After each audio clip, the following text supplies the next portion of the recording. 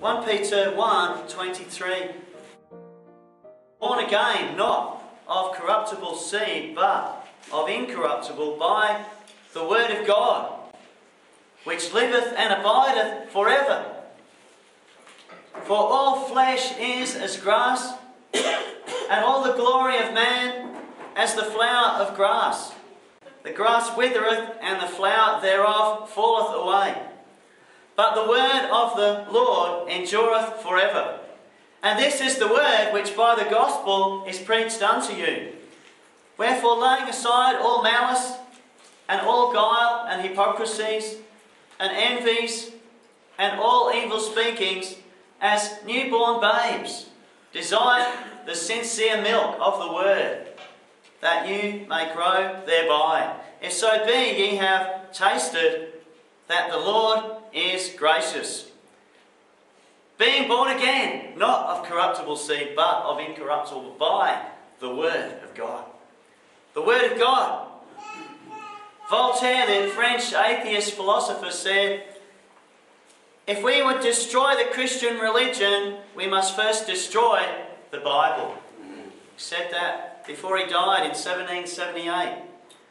We're witnessing today a famine in the land of Australia, a famine of a hearing of the Word of God, of a lack of faith, a lack of solid biblical preaching in the pulpits of our land, an abundance of half truths, a dire need for sound doctrine. We're commonly seeing a neglect of the teaching of God's Word, where it's minimized, where it's disregarded. The most important book in the world, the most important book, God's authoritative self revelation to man, the Word of God. It's been said that a mist in the pulpit puts a fog in the pews. We want to be known as a strong biblical church, as a Bible believing, Bible proclaiming, Bible following church. A church that loves the Word of God and obeys it. That wants to fully declare the whole counsel of God, the Word of God, strongly stood for, fought for, contended for, and lived for. We see some things in this passage that I'd like to highlight about the message of the Bible. The message of the Bible. We stand for the Bible and its message of salvation. Born again of the Word of God. Being born again, not of corruptible seed, but of incorruptible by the Word of God. This message is the message of salvation. Salvation.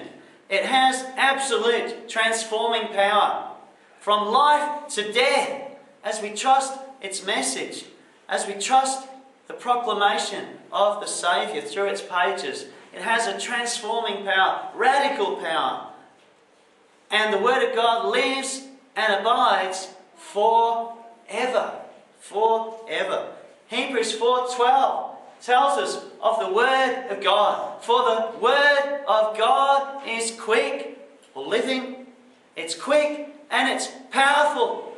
Powerful and sharper, sharper than any two edged sword, piercing even to the dividing asunder of soul and spirit, and of the joints and marrow, and is a discerner of the thoughts and intents of the heart. Message of salvation. Second thing, in its message, it has a preservation. It has a preservation. It lives and abides for how long? Forever. There's a preservation of the Word of God. The Lord Jesus says, Heaven and earth shall pass away, but my words shall not pass away. Matthew 24, verse 35. Peter says that this living seed is incorruptible. Incorruptible. I know years ago I had some seed packets in the tool shed and uh, they were well past their use by date, but I, I said I will try anyway, and it was a total failure. They were corruptible seeds. But friends, this is incorruptible seed. Incorruptible. It cannot corrupt. God's truth is unchanging and it is absolutely reliable 100%, like your salvation. God preserves His word. Despite the enemy's attacks, despite the enemy's efforts to discredit the Bible, to undermine confidence in God's word, we can know for sure that the scriptures we have are the inspired truth. They exist today. God's word exists today, and we hold it in our hands today, faithfully and accurately copied and now translated into our own language. The grass withereth and the flower fadeth, the flower thereof falleth away. But the word of the Lord endureth forever. It's permanent, it's permanent, it's eternal, it is forever. Forever.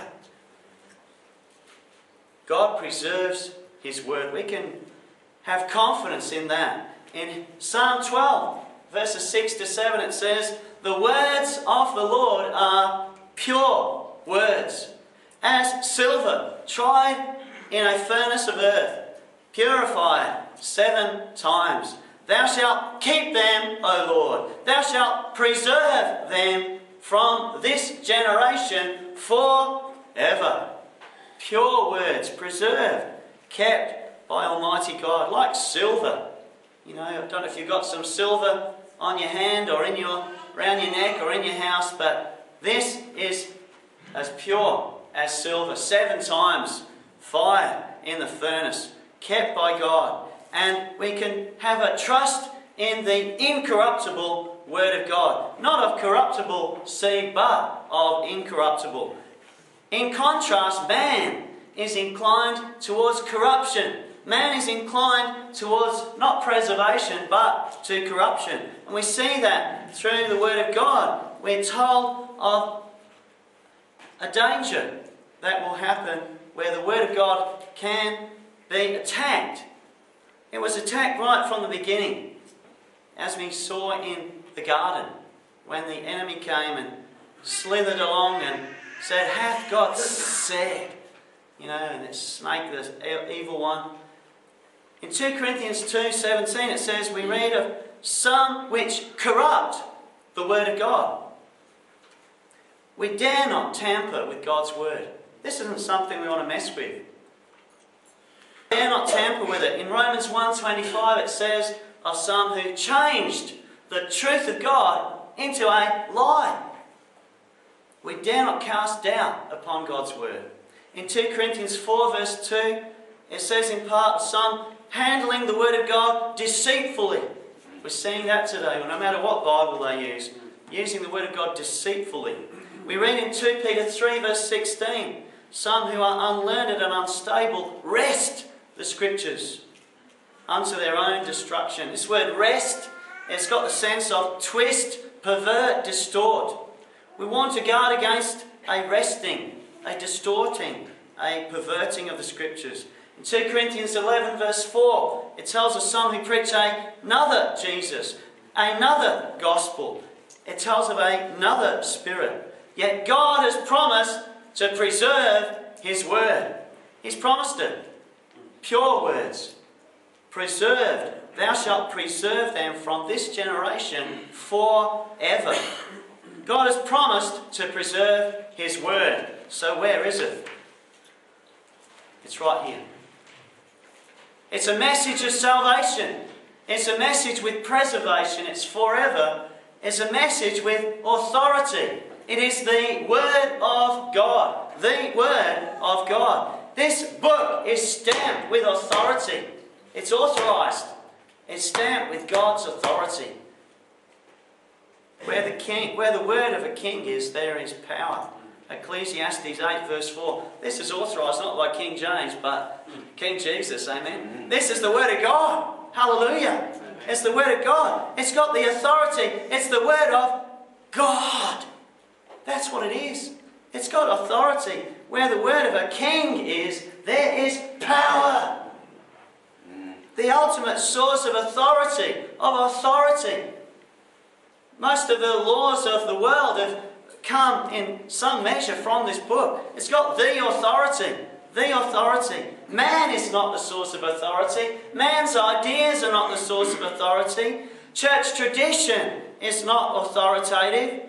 The authority is the very Word of God that we teach and that we hold fast. It's God's revelation. It's a unique revelation of divine truth that we hold between these covers in our hands. And we can see yet today a rejecting going on, a rejecting of God's authority. There's a rejection. They, they can't even understand what marriage is. You know, the, the relationship of a man and a woman committed for life in God's sight, marriage. They want to redefine the most essential things of life. There is an authority in the Word of God. This says how to live, what to do. It's God's revelation, and we reject it at our peril. People do not believe in the authority of God's Word. As Satan posed the question to Eve, Yea, hath God said? Genesis 3, verse 1. Yes, He has. We've got His authority. We've got God's Word on it. God's Word. Truth is not shaped by the church, but the church should be shaped by the truth.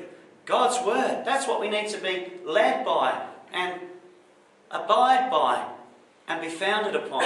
God's authority. It's totally true and trustworthy. We can know that we have the authoritative Word of God in the English language. We have God's revelation of Himself to mankind, and it's been preserved for us. Infallible, inerrant, and verbally inspired. Now, there's a controversy today, as people would know, that sadly, virtually all modern versions have come about the last century from flawed texts. Flawed texts. Only a handful. And these handful of flawed texts, they disagree constantly. In fact, the two main texts disagree with each other over 3,000 times. That's the two main texts disagree with one another 3,000 times. And yet, this is what largely modern Bibles are based on. That's why it's that we've got to be cautious, people. We've got to be cautious. As of now, I'm told that we have 64,000 manuscripts in the world today that support the King James. 64,000. And we have, on the other hand, three yeah, that's what I said. 64,003 on the other side. Three complete manuscripts and 46 fragments that support the Alexandrian text. We've got to think about that, people. That's why it's called the majority text. 64,003 and 46 fragments. Someone has said, things that are different are not the same. Something is wrong. There's a difference between the 64,000 and the three, and the two of them can't agree with each other 3,000 times. People, we've got to be careful about what we read. Amen. We've got to be careful about what we uh, take in. Things that are different are not the same. So, has God preserved His word? Didn't He say He's going to do that? Mm. He said He's going to do that. In Proverbs 30, verse 5, it says, Every word of God is pure.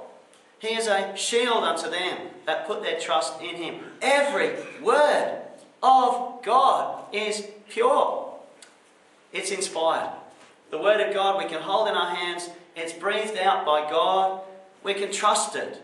Holy men of God were moved by His Spirit in such a way that we have an authority that we can rely on today. Friends, these writings are inspired of God. It's inerrant and we can have confidence in its authenticity. The Bible is without error, without error. It's correct in every statement that it makes. It's infallible, which means the Bible is effective in everything that it does. When the Bible is used, it always works. When all else fails, read the instructions. Yeah. You know, I, I, I know you get these uh, um, that, that kit kind of furniture, and I tend to kind of just pull it out the box and start putting it together. And then I, then I find the instructions. That's how we like in life sometimes, isn't it? You know, we wonder why am I in such a mess? Because we're not following the Maker's instructions. And friends, we need to trust in God's Word. God's Word. It will never fail us. It will see us through life's challenges. It's incapable of error. We can have a total confidence, 100%. And the Bible is sufficient. It's sufficient. It's sufficient as our guide for salvation, as our rule for faith and conduct and doctrine. It answers everything of life's challenges. It defines and guides how we are to believe, how we are to think, what we are to say. It's comprehensive. It's Christ centered. It's holy. It's inspired. It's infallible. It's invincible. It's indestructible. It's inexhaustible. It's impossible to improve. It's never failing. It's eternal. It lives and abides forever. Forever. God's Word. It's got authority. So we see, just to recap thus far, this message is marked by salvation. Salvation. It's marked by preservation. God's kept it and delivered it to us. He's transmitted it to us in our language today. It's got authority. And lastly, it's the gospel. It's the gospel. Peter writes, um, This is the word by which the gospel is preached unto you. This word is the gospel. The gospel. The gospel, the good news, the message of Christ. Luke 24 27, it says, And beginning at Moses and all the prophets, the Lord Jesus, it says, He expounded unto them in all the scriptures the things concerning Himself. Now, I love the New Testament, but I know there's some here that especially love the Old Testament. Uh, right through the whole book, from cover to cover. Jesus is there. Yeshua is there. Jesus is there. Our Lord is there. Our Saviour is there. His cross is there. His coming again is there. It's Jesus, Jesus, Jesus in 66 books. Jesus is there. The living Word of God is in the written Word of God. It's the gospel. It's the good news of the Lord Jesus Christ, our Saviour. As you read the Bible, look for Christ there. He says he expounded unto them in all the scriptures the things concerning himself. Look for Jesus in your Bible. Look for Jesus in Genesis. He's there, right through to Revelation. Search the scriptures, witness the glory of Christ the Messiah, the supreme sovereign, the suffering servant, and the sweet Saviour. He's there from pages all over the book. now, how will you read your Bible? Some uh, will read the Bible in just a, a casual, careless way, just flitting here and there. Or you can read the Bible and dig deep into it. It's been said, read like a bee, not like a butterfly. Read like a bee. So let me explain. The butterfly, all its beautiful colours and just shines so bright and flutters and flies from flower to flower. It flutters here and flutters there. And we're fascinated by the sight of a butterfly. But in that same field, there is another worker. another worker with his brown vest and his business-like flight. We may not have noticed him. His fluttering neighbour darts from here to there, but the plotter stops everywhere. Bzzz. Wherever he stops, he either sends honey or makes it. And if the flower is deep, the bee goes down to the bottom. If it is shut, he opens it up. He explores and discovers the sweet nectar there. The butterfly has no patience for such details. Yet bees are patient with details, hard workers, finding nourishment where it appears there is none. Such labour is very profitable for the bee. So, friends, read your Bible like a bee. Dig deep. Spend time there. Search for that sweet nectar and be enriched, be nourished, be blessed by God's Word. More to be desired are they than gold, yea, than much fine gold, sweeter also than honey and the honeycomb. Psalm 19, verse 10. Desire it, crave it, search for it. This is sincere milk. In other words, it's unadulterated. There's, there's no preservatives, it's not been homogenized or pasteurized. It's just like Brad's cow's milk. You know, it's just the real thing. You know, nothing artificial about it. Nothing added, nothing subtracted. It's pure, it's genuine, it's sincere milk. That's what it says it's going to be. God's Word. And so, we want to have that love of the word. As a bee loves honey, we want to search for it, crave for it like a little baby would crave for the milk. We want to crave the word of God for our teaching, for our instruction, so we can grow thereby. It's been said the decline of doctrine occurs in our churches when any one of three things take place. The decline of doctrine. First, when drama and entertainment becomes more important than preaching the word. It's a danger. When drama and entertainment becomes more important than preaching the word.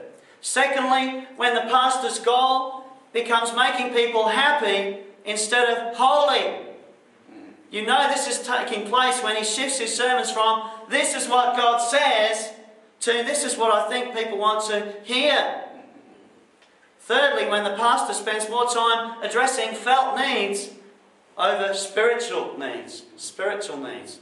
Got to guard against such things. Drama and entertainment or the word. Making people happy or making people holy.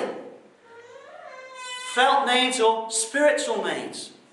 We don't want to be guilty of compromising the message, of uh, delivering a non offensive gospel.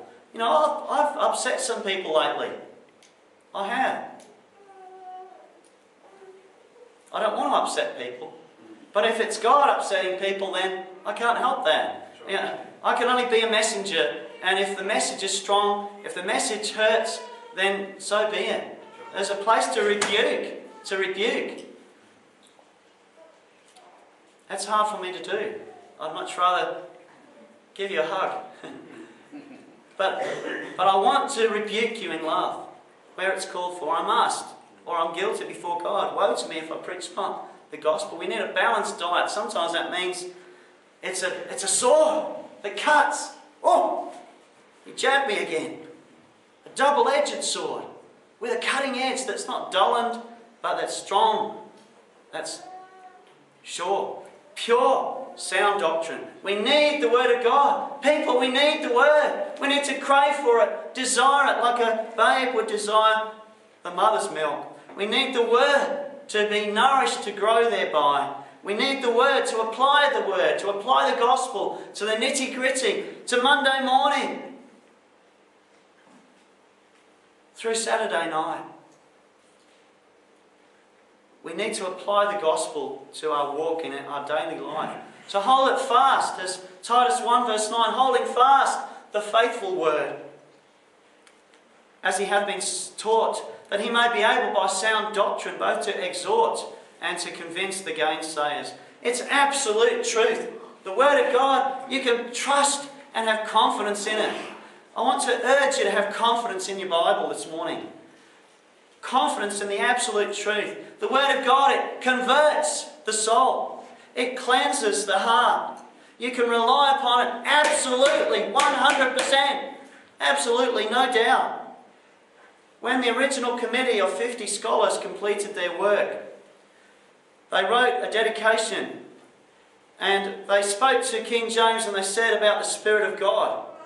The Spirit of God, they said, removeth the scales from our eyes the veil from our hearts, opening our wits that we may understand His word, enlarging our hearts, yea, correcting our affections that we may love it above gold and silver, yea, that we may love it to the end.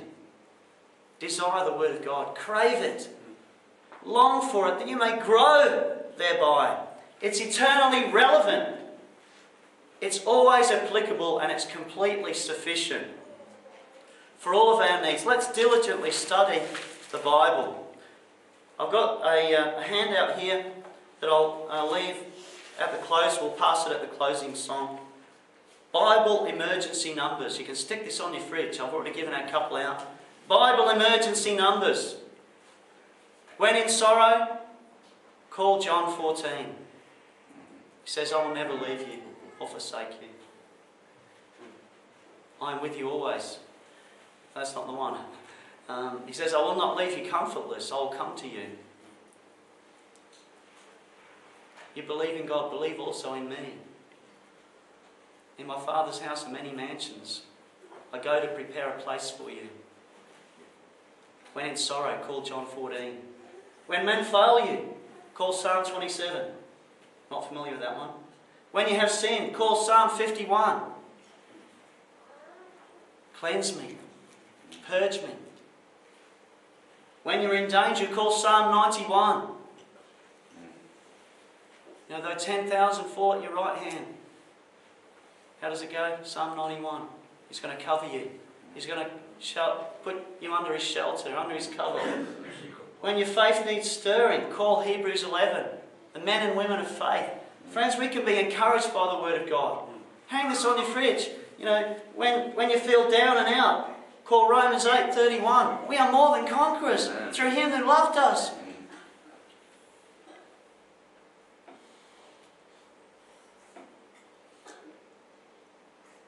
There's so many things we could say, but friends, the answers are here.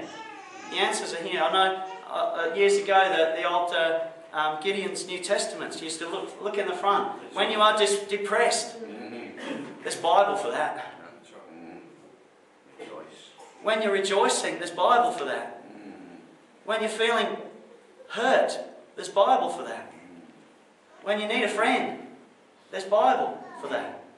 We can be encouraged people by the Word of God. It's now and it's forever, this message. And you can have confidence in it. You can rely on God's Word. It's a message marked by salvation. You can be born again if you obey the Word of God. If you put your trust in the message of the Messiah, if you put your trust in the bleeding and dying Lamb in your place, there's salvation here. There's preservation. It's a forever message. It's pure and it's precious.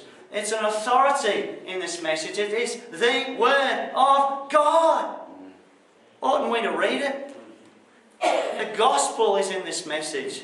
The word by which the gospel is preached unto you. And desire it, friends. Desire it that you may grow thereby. Let us pray. Lord, just as that little baby's crying out right now, let us cry out for your word. Let us cry out, Lord. Let us be fed by it. Let us be nourished by it. Lord, let it be milk that we will partake. Let it be meat that we can grow thereby. Let it be food for our souls. Lord, if there's any present have yet to trust you, let it be salvation even today. Salvation as we're born again by this incorruptible seed. It's precious, it's pure, it's the blessed word of God. We thank you for your word, Lord. It's your message to man. Lord, it's uh, your good news for modern man. It's in these pages of Scripture, Lord. We thank you that it is truth to us. It's truth that is life changing. It is truth that is forever. Help us, Lord, to dig deep as a bee would, to, to search, to find that sweet nectar, to find that precious honeycomb. That is your word, that it is sweet, it is precious, it is blessed. Lord, we thank you for the word that you've granted to man. Help us, Lord, not to neglect it, not let it gather dust on the shelf, Lord, but let it be a word that lives and abides forever. And most of all, it is in our heart. By faith in Jesus' name we pray.